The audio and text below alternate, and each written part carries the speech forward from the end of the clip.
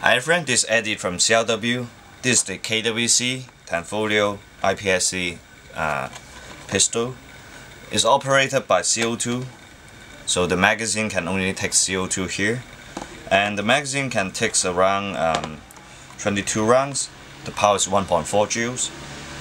The gun is really cheap, it's only 129 US dollars. It doesn't come with the uh, red dot scope, I just put it on for the better looking.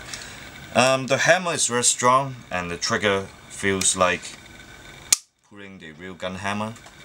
So um, I will going to test fire in a minute. And uh, so the magazine can take 22 rounds. So I'm going to show you and cock the gun. So I'm going to shoot the low target. First we will focus on the uh, pistol here just shoot the pistol.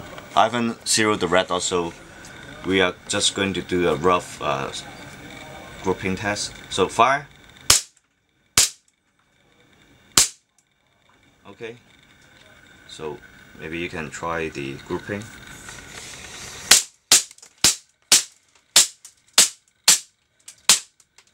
Okay. So this is the last round. Last round we will back to here. The inner barrel is only up to here, so the grouping uh, is reasonable at this distance, but it can always improve. Thank you.